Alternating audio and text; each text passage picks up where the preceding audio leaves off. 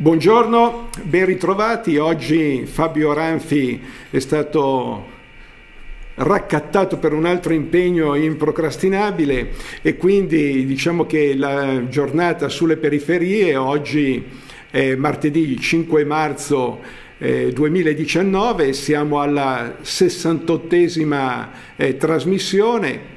Eh, cogliamo eh, l'occasione eh, da dalla pubblicazione eh, di un inserto del Corriere della Sera per focalizzare la nostra attenzione appunto eh, sul, sulla vicenda delle periferie. Vicenda delle periferie che è sempre un pochettino trattata eh, in qualche maniera senza, secondo noi, un dovuto, eh, un dovuto approfondimento. Eh, vediamo un titoletto eh, del Corriere della Sera, proprio una spallettina, non è periferia, eh, dove indica che ci sarà una sezione dedicata a storie del riscatto dei quartieri periferici in un'ottica di città policentrica. Allora, eh, il tema probabilmente non è che non è tanto periferia, perché altrimenti eh, non avrebbero anche senso una serie di pubblicazioni, ma soprattutto una serie di lavori in essere. Eh, citiamo qui il governo della città e delle sue periferie della Fondazione Gianfranco Dioguardi, ma anche Periferain, pensare diversamente alla periferia. Eh, se non ci fosse un tema delle periferie, allora il tema appunto delle periferie e che non è collegabile al degrado. Allora se uno dice nelle aree degradate della città eh, ci può essere eh, un riscatto, eh, questo lo vediamo tutti i giorni, anche se poi alcune semplificazioni portano a dire che cosa? Eh, per esempio il vincitore Mahmoud del Festival di Sanremo eh, abita a Gratosoglio ma eh, il locale parroco adiutore eh, della, della, parrocchia eh, ha eh, così evidenziato questo aspetto. Non è Gratosoglio, ma è Basmetto. E Mobud abita a Basmetto, che è vicino a Gratosoglio, eh, però è in tutta un'altra condizione. Allora, una lettura eh, dall'esterno, da, da distante delle periferie, ci porta a che cosa? Ci porta a avere un eh, quadro che non è adeguato a una riflessione e soprattutto a un'iniziativa.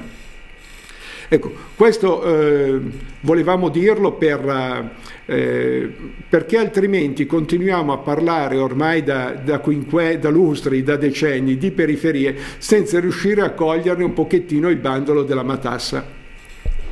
Eh, c'è un interessante anche eh, intervento da parte del, del sindaco Sala. Noi ci soffermiamo naturalmente su quelli che sono gli aspetti periferici, diciamo così.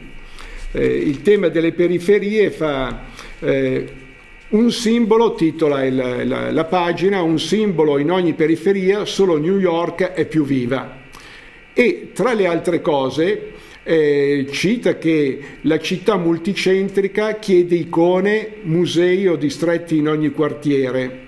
Ecco, eh, nella scorsa puntata avevamo ospitato, abbiamo ospitato eh, il Museo della macchina da scrivere, che è in una sede presso lo Scalo Farini, in zona Farini, eh, dove eh, ha la possibilità di esporre 600 delle, 200, delle 2100 macchine da scrivere eh, che sarebbero a disposizione di tutta quanta la cittadinanza, ma non solo perché vengono da tutta Italia a vedere questo che probabilmente se non è il più importante museo della macchina da scrivere in Italia, ma crediamo che sia tra i primi sicuramente, anche perché non sono molti i musei della macchina da scrivere, quindi eh, Milano ha sicuramente una, quelle che si vogliono dire le eccellenze, cioè delle cose significative.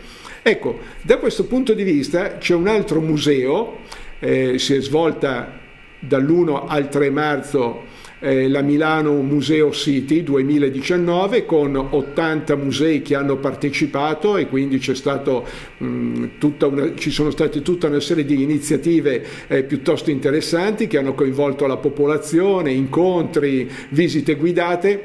Ecco, eh, noi abbiamo il Museo del Manifesto Cinematografico che eh, aveva sede in via Gluck, eh, il museo Fermo Immagine, museo appunto del manifesto cinematografico, che ha una documentazione di circa 150.000 tra eh, manifesti, locandine e quant'altro. Eh, purtroppo nel, nel, 2017 il museo eh, ha dovuto abbandonare la propria sede perché come recita la famosa canzone questa è la storia di uno di noi ragazzo della via Cluck e, e anche lì eh, che cos'è che è nato? Eh, è nato un palazzo eh, dove c'era il museo, oggi c'è un palazzo eh, e così è la vicenda.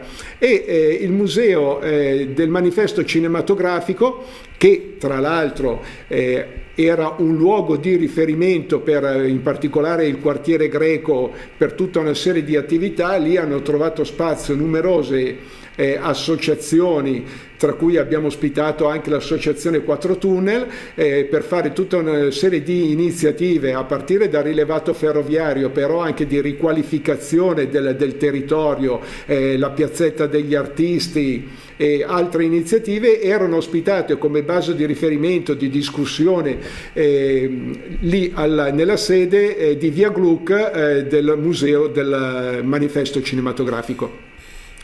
Allora, eh, lì eh, era aveva fatto anche un lavoro nel quartiere, eh, la facoltà di architettura del Politecnico di Milano che aveva dato tutta una serie di, di suggerimenti mettendo in campo eh, decine di universitari eh, che tra le altre cose hanno, avevano sostenuto anche l'esame eh, della, eh, del corso proprio nella sede del manifesto cinematografico. Ecco, questo per dire come delle presenze sicuramente sono, come anche i musei, sono sicuramente importanti, possono avere una... Ehm, eh, un, un, rapporto con il territorio, possono essere al servizio del territorio, c'è solamente un problema, che il museo della, del manifesto cinematografico che aveva svolto un importante ruolo a Greco, eh, oggi come oggi non ha sede. Eh, sono state investite le istituzioni, il Comune di Milano in particolare, era stata anche individuata un'ipotesi di sede appunto da eh, per un lavoro certosino di, di, ricerca da parte delle associazioni che hanno una, un rapporto con, eh, con, il museo del manifesto cinematografico, ma purtroppo eh, oggi come oggi eh, la, la, sede non, non, ce l'ha e, e i manifesti cinematografici non possono essere visti, ma nello stesso tempo anche il, il, il quartiere ha perso un punto di riferimento. Allora Walter, complimenti per il tuo momento, insomma il tuo monologo è stato ben apprezzato, l'ho detto alla redazione, scusatemi ho dovuto assentarmi un secondo perché ho avuto un problema in redazione, però vi ho lasciato in ottime mani, insomma eh, l'avete sentito, quello del, ad esempio sentivo adesso appunto parlavi proprio poco fa del museo del, ehm, del manifesto cinematografico, ne abbiamo parlato tante volte, ricorda un po' questo, la, la, storia che abbiamo raccontato qualche settimana fa del museo della macchina da scrivere. Certo, insomma, noi abbiamo, abbiamo parlato eh, adesso, infatti, insomma, adesso ci ria, riaggiorniamo come si suol dire dire, è il bello della diretta. È il bello della diretta, sì, veramente. Oggi è successo di tutto, però sono, sono contento che Walter è riuscito ad andare avanti da solo e raccontarvi appunto quello che appunto oggi gira un po' sulle pagine. Siamo arrivati quindi alle parole di Sara. La parola di Sara, appunto, titolo sul museo, del museo adesso ne abbiamo parlato, dopodiché eh, Sala nel, nel, nel, suo intervento cita anche due aspetti sulla eh, questione delle periferie che sono eh, le persone, eh, alle persone piace vivere all'Ortica, eh, piace vivere anche a Baggio. Eh, e nomina Baggio proprio, no? sì, sì, come esempio... nomina Baggio e, e quindi mh, c'è sul tema della città policentrica Qui è una sottolineatura che ha esattamente i risvolti dell'amministrazione comunale. E cioè noi facciamo un'affermazione di principio. Se una città è policentrica, deve essere attrezzata anche come amministrazione comunale in maniera policentrica. Non può avere un'amministrazione centralistica, nei fatti l'abbiamo visto nel momento in cui l'organizzazione dell'amministrazione comunale, come sono normalmente le amministrazioni comunali, eh, che scontano, qui abbiamo un testo, eh, il governo della città complessa, con, eh, c'è anche un, un intervento eh, del professor Alessandro Balducci, che è stato anche del professore del Politecnico, ehm, che è stato anche assessore all'urbanistica del Comune di Milano per un, un breve periodo. Ecco, per quanto riguarda la città policentrica e l'amministrazione, cosa dice eh, Alessandro Balducci? Uh-huh che l'attrezzatura culturale e tecnica di chi amministra le città, quindi ne fa un discorso più ampio, non è riferito esclusivamente a Milano, è rimasta la stessa, con le sue settorialità, con le sue piante organiche, le sue strutture formate da competenze separate.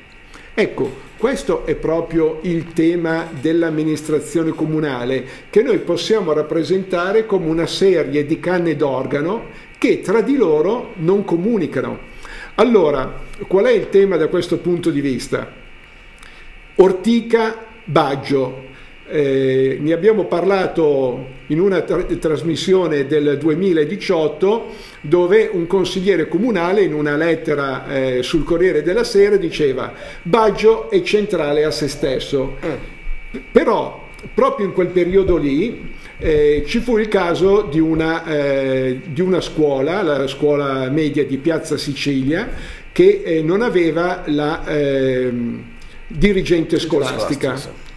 Eh, Piazza Sicilia si trova in zona Piazza Piemonte, per cui diciamo che dal punto di vista tecnico non è periferia ma è semicentro, stando a quella che era, è stata fatta la cartografia di Milano da parte dell'Agenzia delle Entrate, l'unica cartografia che divide dal centro storico al centro quattro semicentri e quattro periferie. E che cos'è che è successo? Municipio che, 7 forse? Municipio 7. Okay, sì eh, che cos'è che è successo? Che i genitori hanno protestato perché mancava questa dirigente scolastica, o meglio, avevano la dirigente scolastica assegnata, solamente che questa dirigente scolastica era solamente formalmente assegnata lì, no, Francia, ma era distaccata a Metz in Francia e quindi non la vedevano mai. Allora, nel momento in cui si era prospettato che rientrasse eh, avevano lasciato passare l'anno, diciamo così, sabbatico, ma nel momento in cui hanno saputo che la dirigente continuava a rimanere in Francia, eh, hanno protestato e in particolare ci fu un'iniziativa e finalmente ebbero eh, la loro dirigente scolastica, l'assegnazione della loro dirigente scolastica. Però qual è il però di tutta questa vicenda della serie Baggio è centrale o no a se stessa? Perché tutti chiaramente, ogni quartiere punta a una propria centralità, sì. ma questo qui è normale, cerchiamo di migliorare, di, di avere l'attenzione su noi stessi, ma poi eh, se alle intenzioni non corrispondono le azioni, eh, diventa eh, una pura utopia. Dove noi speriamo però eh, non si modifica mai. Allora che cos'è che è successo? Che la dirigente scolastica è stata formalmente assegnata alla scuola Primo Levi che sta proprio a Baggio. A Baggio. Quindi eh, la consigliera De Marchi, eh, consigliera comunale De Marchi che aveva seguito la vicenda, commentò eh, una vittoria a metà. Ecco, ci permettiamo un attimino di riallineare questa frase, perché è stata eh, una vittoria piena da parte dei genitori e della scuola, Infatti. anche gli insegnanti e quant'altro, perché quando un corpo scolastico eh, manca della dirigente scolastica fa sempre un pochettino di fatica. Eh, e lì hanno avuto una vittoria una vittoria, perché... Sì. Una grande vittoria appunto per il perché hanno avuto la dirigente scolastica assegnata. Poi una grande sconfitta invece per Il Baggio. problema è che a una grande vittoria eh, è corrisposta una grande sconfitta da parte della scuola media di Baggio eh, che ha avuto poi una soluzione diciamo così di ripiego, nel senso che eh, la vicina scuola e la dirigente scolastica della scuola media vicina, eh, che cosa le hanno detto? Va bene, adesso ti occupi anche di Baggio. Stiamo facendo funzione anche di là. Quindi diciamo che il lavoro che doveva fare per una scuola adesso lo fa per due scuole Ecco, eh, questo qui è il tema eh, del, della centralità. Se non si esce da questa dicotomia, proprio anche dal punto di vista dell'organizzazione, e se non si pensa e non si riflette sul fatto che eh, ci sono parecchi elementi esterni, parecchie istituzioni esterne che poi entrano a gamba tesa in, nel bene nel, o nel male come in questo caso sulla vicenda delle periferie, noi esattamente perdiamo di vista quello che è l'oggetto, di quello che noi chiamiamo periferia e magari di quelle che sono tutte le disfunzioni che si accentuano maggiormente nelle periferie. Però proprio su questo, Consulta Periferie Milano ha messo in piedi un bellissimo percorso che è quello di A Scuola di Periferie, che si sta ad arricchire di una parte anche di percorsi, perché appunto eh, spesso e volentieri le periferie vengono raccontate, ormai cioè, mi è sempre detto, no? questo racconto, questa voglia di centralità di se stesse, quindi di conoscenza anche, però che rimane spesso e volentieri racchiusa poi nelle mura della, del quartiere appunto di periferia. Grazie a questo invece, grazie al vostro operato, incominciamo a vedere dei percorsi che attraversano uno o più quartieri, uno o più periferie e quindi insomma anche questo è molto interessante capire come eh, questa appunto città, famosa città policentrica su cui bisognerà sempre di più andare e sappiamo benissimo i municipi essere, da quello che sono mesi insomma, che continuiamo a dire, essere forse il, l'unico presidio giusto e eh, definito che esiste già, bisogna solo dargli poteri in mano, insomma la scuola di periferia sta cercando di fare un bel passo in avanti verso questo tipo di organizzazione. Diciamo che eh, a scuola di periferie è stata eh, strutturata, eh, Consulta Periferie Milano crediamo che in questi anni abbia promosso tra convegni, seminari di approfondimento su temi periferici particolari eh, però visti sempre in una visione complessiva, perché mh, vorrei ricordare una cosa, Consulta Periferie Milano non nasce da un desiderio strano sulle periferie, nasce da un precedente percorso eh, che si era consolidato proprio nell'ovest di Milano, diciamo così, tra gli assi di Via Lorenteggio e, e il QT8, in quest'area, coinvolgendo anche 25 associazioni in quello che avevamo denominato, mm, così un po' impropriamente forse, coordinamento Milano Ovest. Ci siamo resi conto, dopo numerosi anni di lavoro, di cose anche interessanti, di partecipazione da parte di tutte queste associazioni in maniera coordinata, propositiva, con eh, moltissime iniziative promosse, che eh, il tema della periferia ovest di Milano non si, non si riusciva a risolvere all'ovest di Milano per come era conformata una metropoli seppur piccola come Milano, che male che vada ha un est, un nord e un sud.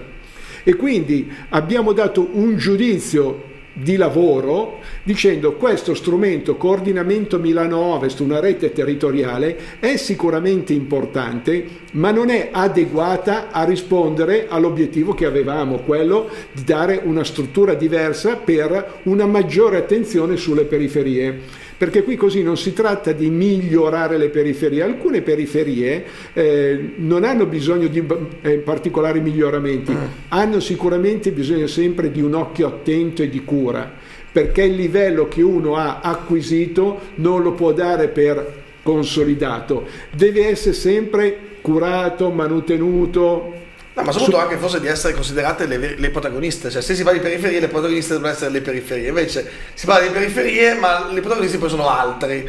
Eh, insomma questo è interessante. Questo, no? questo qui e probabilmente anche altri che non hanno proprio il polso sulle eh no, periferie. Cioè, sta, noi quando diciamo qualcosa sulle periferie perché uno abbiamo imparato, ho citato prima dei libri, ma su ogni libro ci abbiamo fatto un convegno, abbiamo incontrato chi l'ha scritto, di libri ne, ne abbiamo approfonditi almeno una ventina, giusto per stare sui libri. Nello stesso tempo noi che cos'è che associamo a questa acquisizione? Un percorso di lavoro eh, concreto sul territorio, eh sì. grazie a tutte le associazioni che promuovono consultazioni tutta periferia Milano che per esempio siccome un pochettino il fiore all'occhiello eh, anche se noi non siamo dei promotori musicali ma usiamo la musica per animare le periferie eh, in questi anni abbiamo promosso oltre 700 concerti ad ingresso gratuito in 50 sedi territoriali, anche nelle cascine agricole. Lì abbiamo potuto misurare eh, qual è la struttura normativa regolamentare, diciamo così, burocratica per poter fare delle iniziative anche.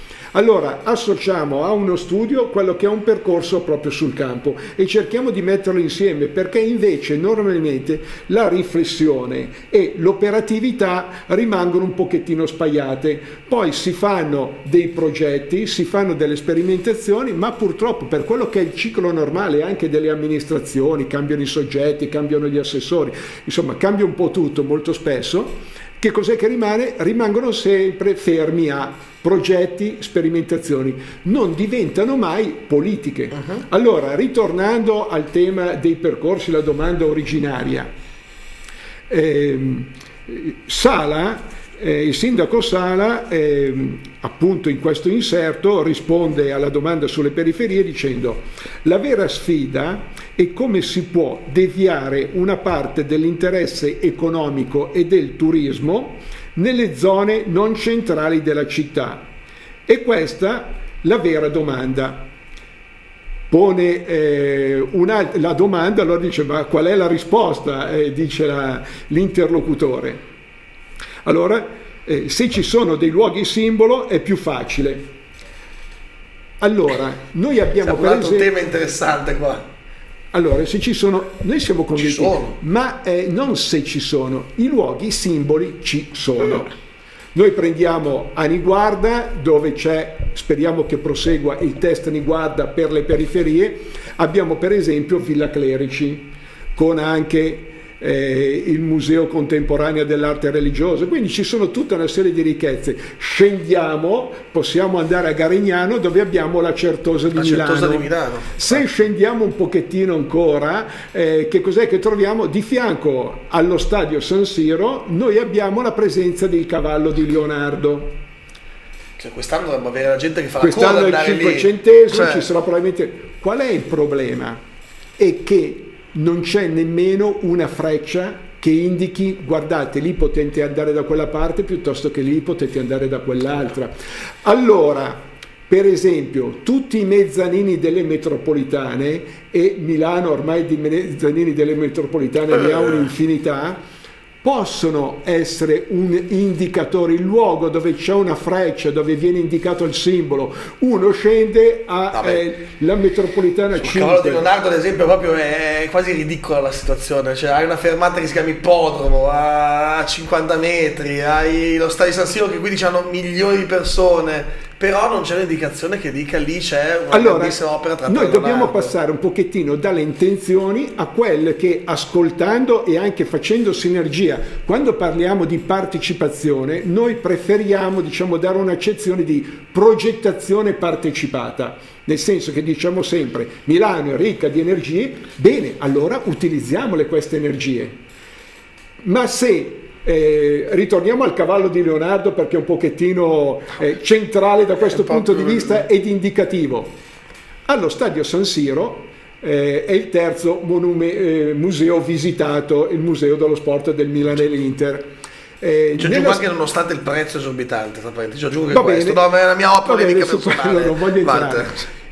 Ci sono andate eh, nel maggio-giugno scorso 74.000 persone. Però a 100 metri c'è il cavallo di Leonardo, basterebbe una segnaletica, una freccia che dice il cavallo di Leonardo da Vinci. Ah, no, e la gente Ah, per quello è, è simbolica, fa, è fantastico. Fa 100 perché... metri in più e va a cioè, vedere cioè, da Vinci, la più grande statua equestre, equestre, che ci sia, che se uno vuole andare a vedere un'altra che è uguale, eh, la trova negli Stati Uniti, Michigan, nel Michigan, eh, che nel Michigan è uno tra i 100 eh, monumenti Più maggiormente visto. visitati degli Stati Uniti d'America. Dobbiamo imparare molto da loro, sai che loro sono quelli del paese con la sedia più grande d'America, il paese col gomitolo, cioè, e riescono a fare turismo con quella roba lì. Noi abbiamo un cavallo disegnato da da Vinci, la più grande stata questa di Milano e non riusciamo dopodiché, a farla visitare dai dopodiché turisti. Cioè... il sindaco Sala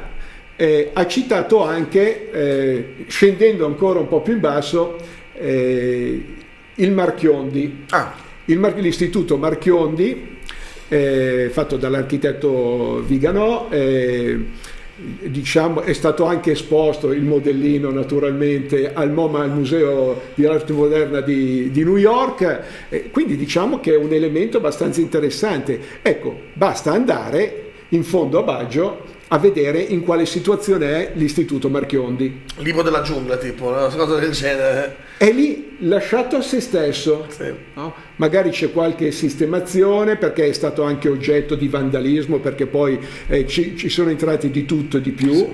L'unico problema qual era? Che quando ha chiesto il presidente del loro consiglio di zona, parliamo di oltre dieci anni fa, ha chiesto va bene, vado a vederlo per vedere qual è la situazione, dagli uffici del comune di Milano gli hanno detto no, tu non puoi entrare. Al presidente del consiglio di zona, che dovrebbe essere appunto il luogo più vicino al territorio, quindi quello che se ne fa anche maggiormente carico e cura, malgrado volesse farsene carico Ecco, questo qui è il tema anche dei nove, mettiamoli tutti, presidenti dei sì. municipi che abbiamo anche eh, incontrato recentemente, in particolare nella giornata della legalità e della giustizia che si è svolta eh, poco tempo fa nel municipio 4 che sicuramente hanno delle idee, hanno delle capacità perché non sono degli sprovveduti tra le altre cose. C'è un problema della classe politica, diciamo così, della selezione della classe politica, però diciamo che ci sono anche persone che hanno raggiunto sì, sì. la presidenza di municipio anche perché hanno fatto un certo tipo di gavetta, si diceva una volta. E quindi hanno anche idee. Il problema è che possono fare solamente delle proposte. Per esempio in zona 2 per ritornare sempre al tema turistico dei monumenti, hanno detto bene, eh, hanno lanciato un bando per fare la segnaletica in zona 2 delle cose più interessanti da vedere. Ecco, ecco su questo noi eh, torniamo a, a scuola di periferie eh, abbiamo eh, strutturato la scuola di periferie proprio come una normale scuola, dove ci sono tutte quante le materie uh-huh. e quindi c'è anche l'arte. Sull'arte abbiamo individuato un percorso che adesso eh, ha quattro puntate, in particolare nella biblioteca Arara eh, vicino a San Siro, nella biblioteca eh, rionale Arara, dove abbiamo focalizzato quattro puntate, abbiamo fatto quelle dei percorsi dell'Ovest, adesso faremo successivamente quelle dei percorsi del nord e poi dell'est e del sud, proprio individuando in quella lezione lì verranno fatte delle proposte di percorso che possono essere fruibili. Innanzitutto noi diciamo da chi ci abita perché i primi a non conoscere Milano sono un pochettino i milanesi, ma sicuramente anche i turisti, i turisti che vanno a risiedere nei molteplici alberghi che non sono tutti in centro ma anche in periferia, avrebbero la possibilità di tornare a casa loro dicendo ho visto il Duomo, ho visto la galleria, eh, il cenacolo e, e, e la lo, scala e, e, anche, e anche lo stadio ma poi ho visto, ho visto anche il, proprio eh, l'istituto Marchiondi, Marchiondi, ho visto la Certosa Villa di, di Milano e ecco, arricchendo, ma arricchendo anche il tessuto sociale. Ecco, su questo abbiamo fatto un percorso specifico Perfetto, Walter. Allora, siamo in chiusura. Mi, mi incuriosiva come fida però in eh, Municipio 2 con il bando dei cartelli. Ah, adesso hanno lanciato ah, un bando. ok, sono riusciti a mandare. Oh, Quindi per dire che sul territorio, fare, anche sì. da parte delle amministrazioni locali, che fatto 100 il potere che dovrebbero avere per, per ritornare come i vecchi comuni, da questo punto di vista cogliamo e coglieremo una eh, così un, no, anche una, una, proposta che è stata fatta qualche ben, giorno, ben oltre la suggestione. Qualche, qualche giorno fa eh, dal, a Niguarda, dal locale comitato di quartiere Niguarda, che ha, ha posto attenzione durante una riunione al 2023. Perché il 2023? Perché, 2000, perché il 2023 ricorre il centenario dell'annessione dei comuni limitrofi a Milano appunto al comune fatta nel 1923 Baggio, Affari, allora, di quelli Esattamente, Niguarda, Niguarda Lambrate, eh, Baggio, insomma, chi più ne ha più ne metta, sono eh, la dozzina di contorni. Com- Comasina forse anche c'era. La Comasina no, no. non era, ok. E, allora, Affori, c'era Affori, Affori comune sì, di okay. Affori.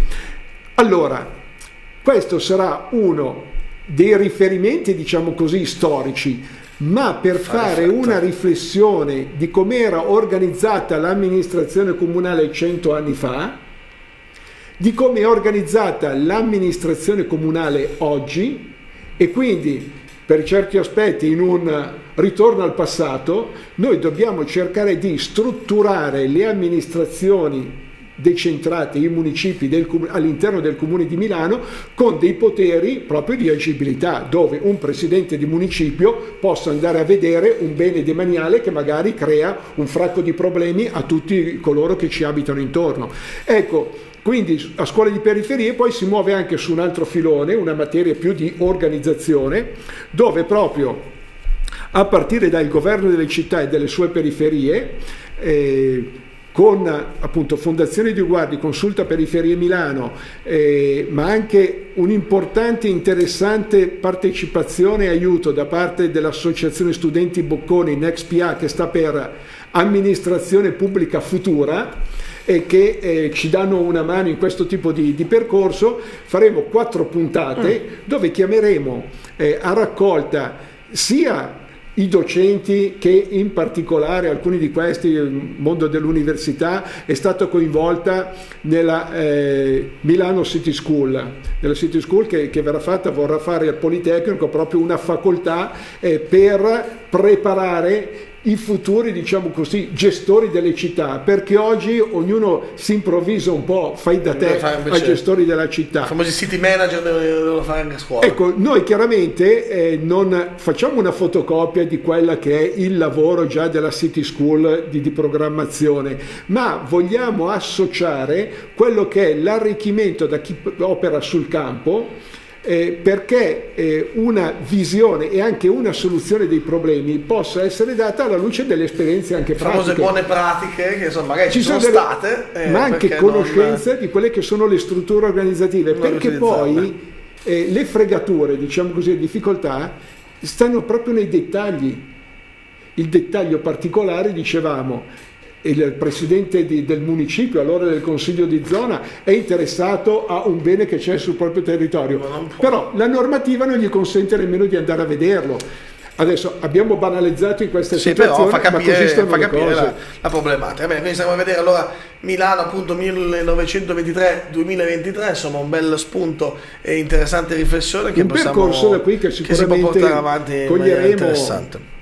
Perfetto, Vata, siamo in chiusura. Io ti ringrazio anche per aver eh, gestito la situazione anche nel momento di crisi, quindi sono, eh, grazie mille. Ma quando c'è il conduttore Avanti, sicuramente no, però, insomma, meglio. meglio, bravissimo che sei riuscito a gestire tutto quanto e ti ringrazio davvero tanto. Eh, ci vediamo martedì prossimo ancora con la 69esima puntata di consulta con consulta per Milano di Focus Periferie. Io ti ringrazio tanto e buona giornata davvero, grazie mille ancora. Grazie a voi. Grazie a tutti voi che ci avete seguito. Good Morning Milano tornano invece domani alle 12.30, sempre qui in diretta su Milano All News. Grazie mille, arrivederci a presto.